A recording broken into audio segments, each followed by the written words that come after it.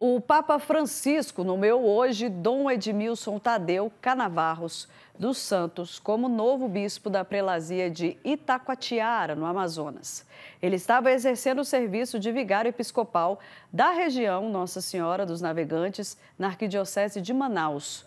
O bispo tem como lema episcopal restaurar todas as coisas em Cristo.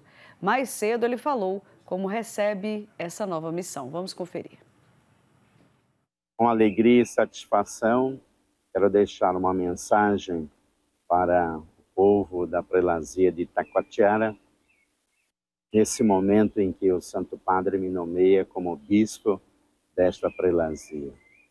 Quero, sobretudo, contar com as orações de cada um e de cada uma, e junto ao povo de Deus que aí se encontra, fazermos juntos acontecer a Igreja Sinodal de uma alegria imensa poder partilhar e contribuir com o meu pastoreio junto a esse povo, junto a cada um de vocês, mas sobretudo nas grandes lideranças, nos nossos sacerdotes, nos nossos padres, e que realmente Nossa Senhora do Rosário nos ajude e nos conduza nesse caminho que agora iniciamos.